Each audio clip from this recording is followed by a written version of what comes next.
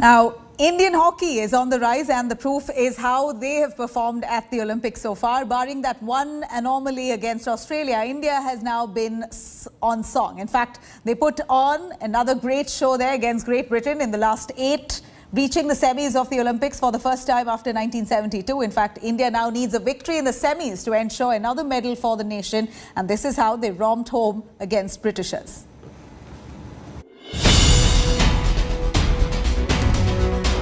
The Indian men's hockey team are through to the semi-finals at Tokyo 2020.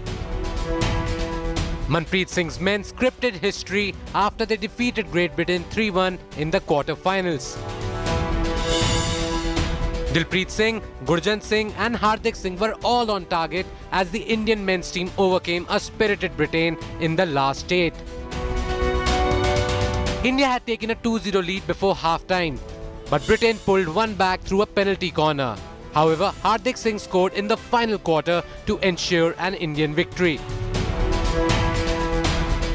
Considering India hadn't reached the Olympic semi-finals for 49 years, it is an extraordinary feat for this Indian hockey side.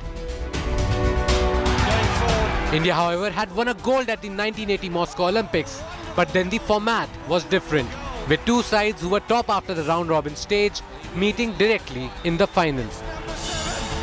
India will now face Belgium in the semi-finals and the entire nation will be hoping for a performance that reminds the world of India's dominance in the sport in Olympic history.